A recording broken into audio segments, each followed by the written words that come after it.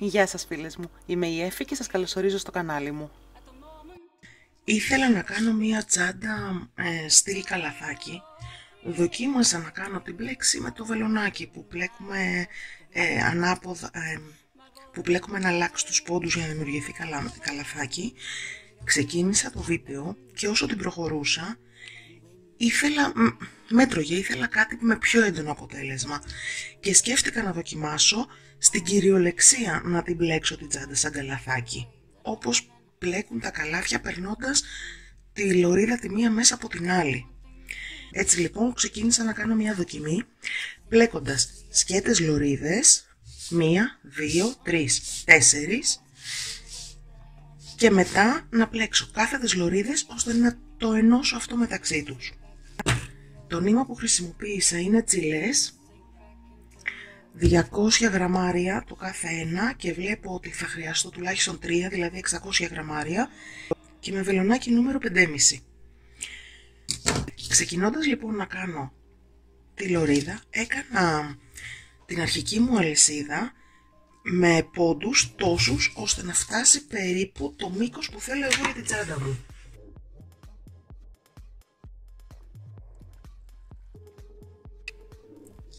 Είναι σχεδόν 60 εκατοστά. Κατάλαβα όμως την πορεία ότι αυτό το μήκος πλέκοντάς το θα μειωθεί. Γι' αυτό θα σας πω από την αρχή ότι ανάλογα με το μέγεθος της τσάντας που θέλετε δώστε λίγο παραπάνω στις λωρίδες αυτές γιατί επειδή μπαίνουν από κάτω οι άλλες μαζεύει ελαφρά. Θα δούμε στο τέλος την τελική διάσταση. Οπότε γύρω στα 60 εκατοστά, έτυχε εμένα να είναι και 60 ε, πόντι, 60 άριχτα έκανα. Δεν έχω κάνει τίποτα για να σας το δείξω περίεργο. 60 αλυσίδες, 60 άριχτα για 2, 4, 6 σειρές. Το φάρδος λοιπόν της λωρίδας μου είναι 5 εκατοστά. Μπορείτε να το κάνετε μεγαλύτερο ή μικρότερο, αλλά θεώρησα ότι βγαίνουν πολύ ωραία τετραγωνάκια όταν είναι 5 εκατοστά αυτό εδώ το φάρδος. Καλή πλευρά θεωρώ αυτή που τα άριχτά μου μου δίνουν διπλή σειρά. 2, 4, 6. Ενώ αν δείτε από την άλλη είναι σαν να είναι μία μόνη σειρά αυτή, μία μόνη σειρά αυτή και αυτές ενδιάμεσα. Κάθε δύο σειρές λοιπόν τα άριχτα μου δημιουργούν μία ρίγα, όποτε καλή πλευρά θεωρώ αυτή εγώ, που βλέπω καθαρά τις 6 ρίγες. Αφού έκανα λοιπόν τις 4 λωρίδες, που αν τις βάλουμε κοντά κοντά, αν τις ενώσουμε, είναι 23 εκατοστά το φάρδος, όμως θα γίνει πιο φαρδιά, γιατί πάλι δημιουργείται ένα κενό όταν το πλέκουμε. Πήρα τις λωρίδες μου, τις έβαλα τη μία δίπλα στην άλλη, πάντα από την καλή πλευρά, όλες, και με το νήμα του τελευταίας λωρίδας που δεν έκοψα, άρχισα να τις ενώνω. Κάθε λωρίδα, επειδή είναι 6 σειρές, πρέπει να έχει 6 άριχτα εδώ πάνω. Πάμε λοιπόν, όταν κάνουμε το τελευταίο άριχτο της μίας λωρίδας, πάμε και μπαίνουμε στην επόμενη, στον πρώτο πόντο της επόμενης. Θα σφίξω το νήμα μου και είναι ένα, δύο, τρία, τέσσερα, 5, 6 άριχτα, γιατί 6 είναι οι σειρές που έχω πλέξει. Με αυτόν τον τρόπο ένωσα τις λωρίδες μου μεταξύ τους. Αφήνω αυτό το νήμα σε αναμονή, το έχω κόψει αλλά έχω αφήσει ένα αρκετά μεγάλο κομμάτι για να μπορέσω να το ενώσω μετά. Αυτές είναι οι άκρες από την ε, κάθε λωρίδα, θα τις ε, ράψω μετά με βελόνα και αφού ένωσα τη μία πλευρά και τις έχω σταθεροποιήσει, έπρεπε να πλέξω τις κάθετες λωρίδες, αυτές που θα πλεχτούν για να δημιουργηθεί το καλάθι. Με τις δοκιμές που έκανα είδα ότι πόσο χρειάζεται να είναι αυτή η λωρίδα. Έχουμε 1, 2, 3, 4 από 6 σειρές, 4, 6, 24. Αν έκανα 24, ποδαρά, 24 πόντους στην αρχική μου αλυσίδα, έβγαινε λίγο στενή γιατί χάνει το μήκος της όταν περνάει από κάτω και από πάνω. Εάν λοιπόν έχετε κι εσείς 24 σειρές, θα κάνετε 26. Εάν έχετε επιλέξει να είναι μεγαλύτερη, όσες οι σειρές σας, συν δύο πόντους για να ξεφύγει λίγο από τις άκρες και να βγει πιο έξω να μπορούμε να το ενώσουμε. 26 λοιπόν πόντους στην αρχική αλυσίδα και πάλι για 2, 4, 6 σειρές. Η επόμενη από την καλή πλευρά, αφού αυτό είναι από πάνω, αυτό θα πάει από κάτω για να γίνει η πλέξη μου.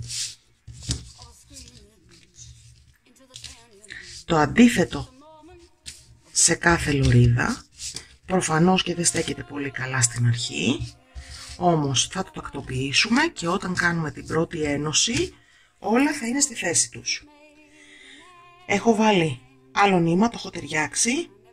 Μην ψαρώνετε, δεν είναι σχέδιο, δεν με έφτανε το συγκεκριμένο. Ο συγκεκριμένος τσιλές είχα μόνο δύο και επειδή είχα να το ταιριάξω με άλλο τσιλέ, άλλο χρώμα, το κάνω σαν σχέδιο. Θα το, κάνω, θα το παίξω και έξυπνα, γιατί έχω κάνει σχέδιο στην τσάντα.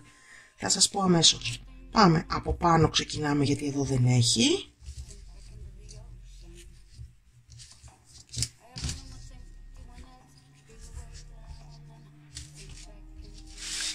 Κάτι ακόμα που θα κάνω εγώ τώρα για να είναι όλα στη θέση τους. Από τη μία πλευρά θα τα πιάσω με κλειψάκια.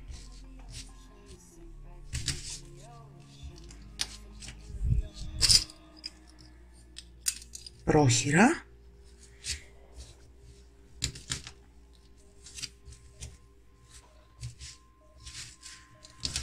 Πάμε.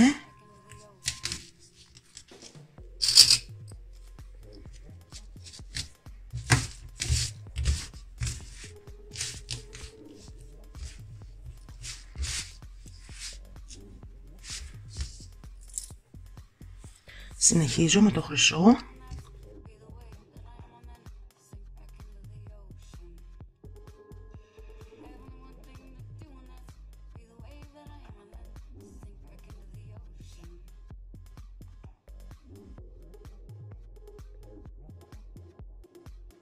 Εδώ τελειώνει το χρυσό νήμα. Και συνεχίζω με το δικό μου. Μη γελάσετε, όταν όμως θα την κλείσω θα είναι το καπάκι, το πίσω μέρος και το μπροστινό μέρος θα είναι το μονόχρωμο, οπότε σίγουρα είναι σαν να είναι σχέδιο, σαν να το έχω κάνει επίτηδες. Πώς κάνουμε μία bubble τσάντα που στην εσωτερική πλευρά μπροστά δεν έχει bubble αλλά είναι ίσια, ε, κάπως έτσι.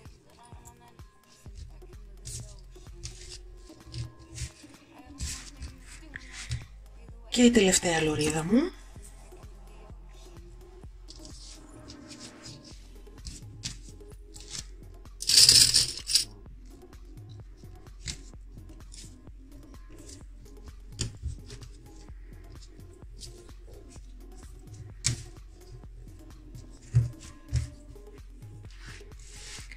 και την έχω πλέξει μεταξύ της. Θα σας πω το εξής. Όταν έκανα την αρχική μου την πρώτη λωρίδα στο μήκος που ήθελα, πραγματικά δεν σκέφτηκα καθόλου πόσες οριζόντιες θα μου βγούνε. Στην πορεία όταν έπλεκα τις οριζόντιες, σκέφτηκα ότι εδώ κάτω μπορεί ή να μου έβγαινε παραπάνω η λωρίδα ή να μου έβγαινε λιγότερο. Συνέχισα όμως και έπλεκα και είπα θα δω τι θα γίνει όταν θα φτάσω εκεί. Να μην σας αγχώσει καθόλου αυτό, ακόμα και αν δεν υπολογίσετε τίποτα, είτε αν θα βγει λίγο παραπάνω θα τις τριμώξετε, είτε θα βγει λίγο λιγότερο θα τις κάνετε πιο αραιές, λίγο, ελάχιστα, είτε η τελευταία σας λωρίδα μπορεί να χρειαστεί, αν είναι πολύ μεγάλο το κενό που έχει μείνει, να την κάνετε 6 σειρές. Δεν είναι κάτι όμως τελικά, είδα στην πορεία ότι δεν είναι κάτι που πρέπει να μας αγχώνει, γιατί μπαλώνεται πάρα πολύ εύκολα αυτό. Άρα δεν χρειάζεται υπολογισμούς και να κουράζουμε περισσότερο το μυαλό μας. Αφού λοιπόν σταθεροποίησα τη μία πλευρά, τώρα θα το γυρίσω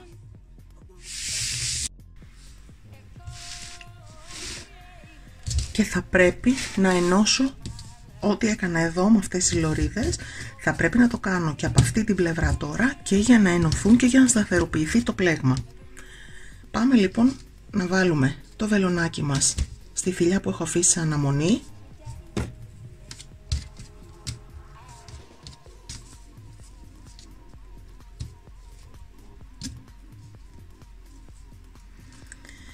Και κάνω το γωνιακό μου πόντο για να γυρίσω και στην ίδια φυλιά, στην ίδια τρύπα, συγγνώμη, στην ίδια τρύπα πρέπει να κάνω άλλο ένα πόντο. Οπότε θα μπω κανονικά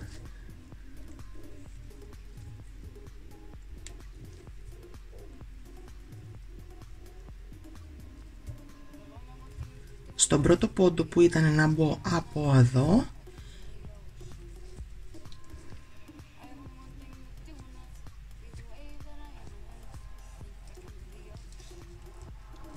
και ξανά σε αυτό το γωνιακό πόντο.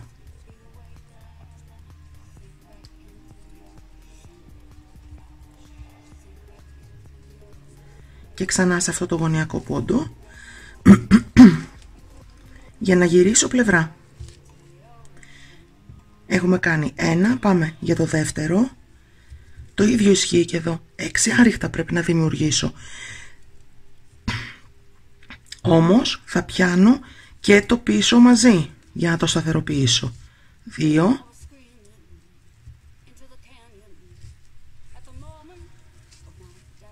Τρία.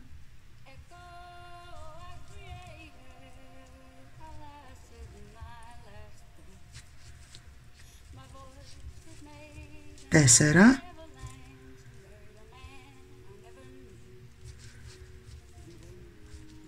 Έχει τελειώσει το νήμα μου. Οπότε το νήμα που είχα αφήσει αναμονή, οπότε παίρνω το καινούριο.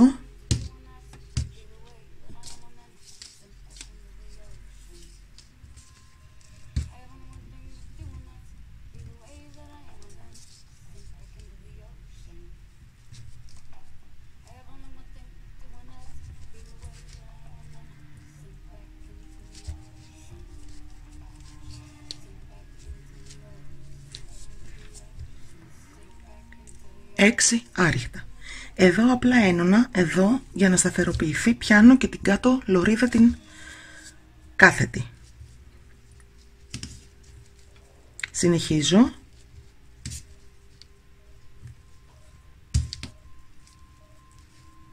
Στον επόμενο πόντο θα πιάσω τώρα πια από πίσω την οριζόντια λωρίδα μου.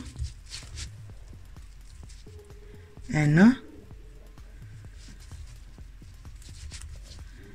δύο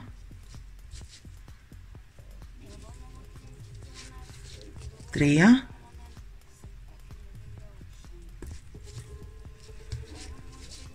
τέσσερα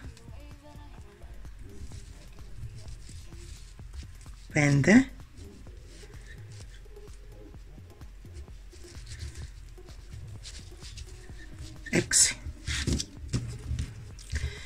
Ενδιάμεσα, επίτηδες δεν αφήνω κενό για να μην μου ανοίξει εδώ. Συνεχίζω. Τώρα πιάνω από την οριζόντια λωρίδα πρώτα το πόντο και μετά από πίσω.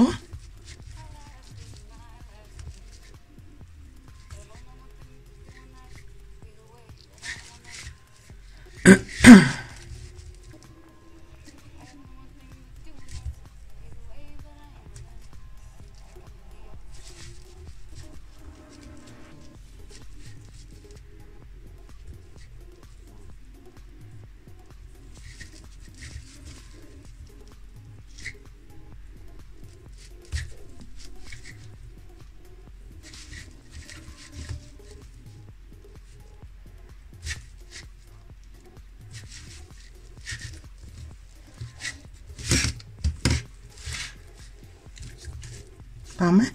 Ο επόμενος πόντος τι είναι; Αυτός που είναι πρώτα η οριζόντια λωρίδα και μετά η κάθετη από πίσω.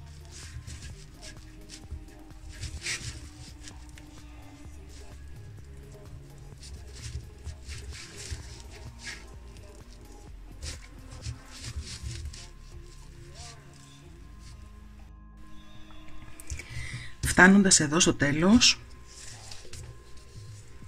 έχω ακόμα δύο πόντους θα τους πλέξω κανονικά. Και πριν γυρίσω πλευρά θα σας πω το εξής. Όση ώρα τα ένωνα σκέφτηκα ότι υπάρχει όντως μαθηματικός τρόπος να μας βγουν ακριβώς. Μπορούμε να πλέξουμε πρώτα τις οριζόντιες ώστε να αποφασίσουμε το φάρδος της τσάντας μας. Και με τον ίδιο τρόπο που σας είπα πριν όσες είναι οι σειρές δύο παραπάνω θα κάνουμε να κάνουμε τις κάθετες. Γιατί; Κάθε τέτοιο κομμάτι οριζόντιο ενώνεται με τους ίδιους πόντους από πίσω. Δηλαδή 6 είχα εδώ, 6 χρησιμοποίησα στη φαρδιά λωρίδα. 6 εδώ, 6 από πίσω. Και 2 που περισσεύουν με τον ίδιο τρόπο λοιπόν που σας είπα ότι κάνουμε τις οριζόντιες, αν το κάνουμε αντίστροφα, κάνουμε πρώτα τις οριζόντιες και μετά τις κάθετες, θα μας βγουν ακριβώς οι πόντοι μας και δεν θα έχουμε κανένα θέμα. Εγώ είμαι ευχαριστημένη και με αυτό γιατί ένα-δύο πόντους πάντα τους κλέβουμε στο πλεκτό και το ξέρουμε μόνο εμείς και κανείς άλλος. Γυρνάω λοιπόν και ό,τι έκανα στην άλλη πλευρά θα το κάνω τώρα εδώ. Ο γωνιακός μου πόντος άλλος ένας για να γυρίσω πλευρά ε, μετράει ένας πόντος δύο. Τρεις. Τέσσερις. Πέντε.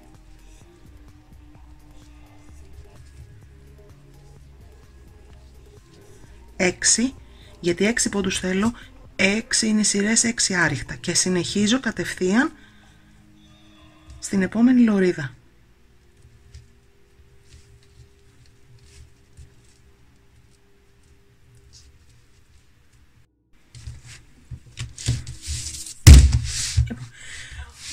Ολοκλήρωσα το πλέξιμο γύρω γύρω, την ένωση, ό,τι σας έδειξα. Έκανα και μια δεύτερη σειρά για να μου στρώσει καλύτερα. Αυτό είναι προαιρετικό, αν θέλετε κάνετε, αν δεν θέλετε δεν κάνετε. Θεωρώ ότι με μια δεύτερη περιμετρική σειρά στρώνει πιο όμορφα. Και είναι έτοιμη. Προφανώς και επειδή είναι αρκετά χοντρό δεν χρειάζεται πλέγμα. Εάν λοιπόν πω ότι στείνω την τσάντα μου, είπαμε ότι οι δύο μονόχρωμες λωρίδες είναι το εσωτερικό μου,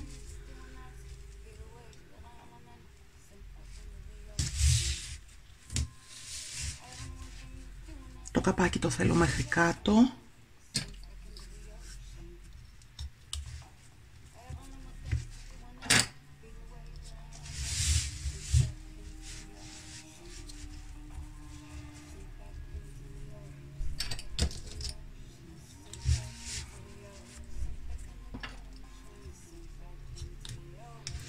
Αν λοιπόν στήσω την τσάντα μου βλέπω ότι στέκεται μία χαρά θα βάλω ένα, μια πολύ ωραία φόδρα από μέσα και ίσως να βάλω και σάλπα, το αυτοκόλλητο το σκληρητικό, πάντως σίγουρα πλέγμα δεν θα βάλω, δεν χρειάζεται.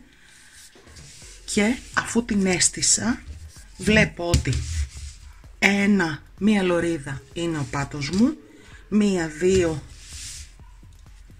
η πλάτη, τρεις, τρεις, τρεις είναι η πλάτη και τρεις στον μπροστινό μου. Στείνοντας λοιπόν την τσάντα μου έτσι βλέπω και πόσο πρέπει να κάνω, βλέπω και πόσο πρέπει να κάνω το πλαϊνό. Έχω κάνει ήδη το ένα πλαϊνό, μετράω τους πόντους που είναι εδώ, ρίχνω δύο λιγότερα άριχτα γιατί θα γίνουν οι ίδιοι πόντοι με την περιμετρική σειρά μέχρι το ύψος που είναι το εσωτερικό μου, το μπροστινό μέρος. Δύο σκέτα λοιπόν πλαϊνά έχω κάνει, τα οποία θα ενωθούν πάνω.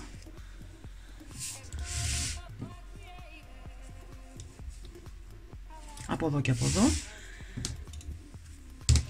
Και θα την κλείσω με μαγνητάκι την τσάντα μου.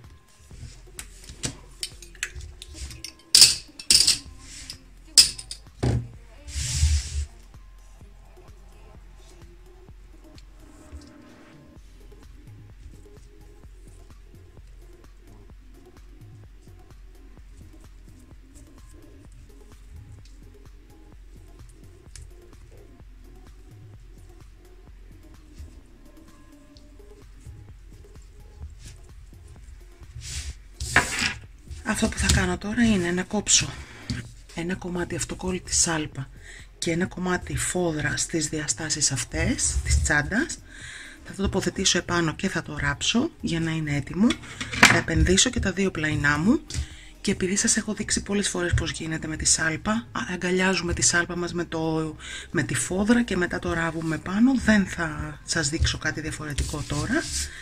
Θα την επενδύσω και θα γυρίσω για την ένωση. Έχω όλα τα κομμάτια έτοιμα. Έχω ντύσει ύφασμα με την σάλπα την αυτοκόλλητη, οπότε είναι σκληρό. Τα πιάνω με τα clips μου. Το ίδιο έχω κάνει και στην τσάντα μου και είναι έτοιμα για να τα ράψω και να σταθεροποιηθεί επάνω. Έχω τελειώσει με την επένδυσή μου. Είναι μια χαρά, ίσια και τώρα θα πάρω τα πλαϊνά μου.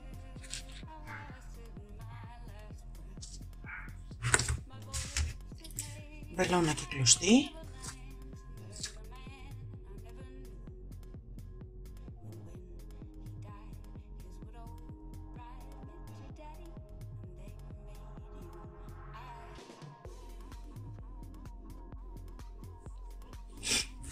Έχω ενώσει τα πλήνα με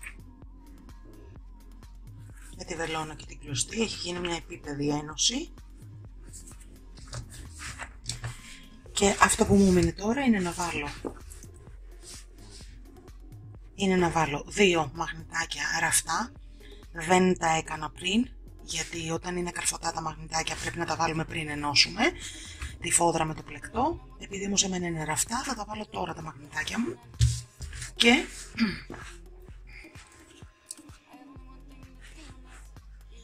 και την αλυσίδα, το χεράκι της επιλογής σας.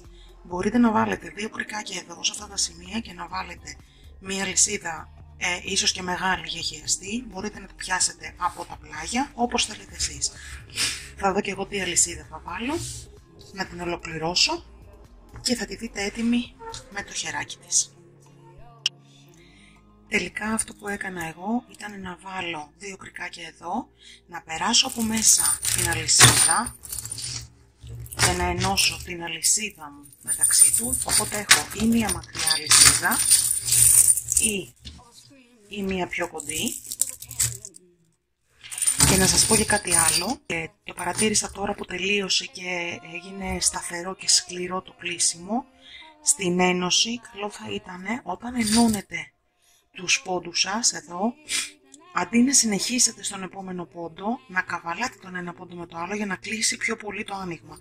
Γιατί ενώ έδειχνε πάρα πολύ ωραία, τώρα έχει αφήσει κάποια κενά γιατί τέντωσε, ε, τέντωσε η τσάντα μου με, το, με την ενίσχυση. Εμένα προσωπικά δεν με ενοχλεί γιατί από μέσα φαίνεται μια ίδια χρώμα φόδρα, μπες.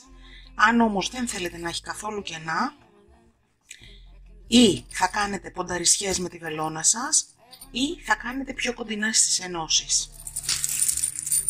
Αυτή ήταν λοιπόν η τσάντα. Εύχομαι να σας άρεσε φίλες μου. Εάν σας άρεσε το βίντεο, μην ξεχάσετε να πατήσετε like και να μου αφήσετε ένα σχόλιο. Εάν μόλις με ανακαλύψατε, κάντε εγγραφή στο κανάλι και πατήστε το καμπανάκι για να έχετε ειδοποίηση για κάθε νέο μου βίντεο. Σας ευχαριστώ πολύ που ήσασταν για άλλη μια φορά μαζί μου. Τα λέμε την επόμενη φορά με μια νέα δημιουργία.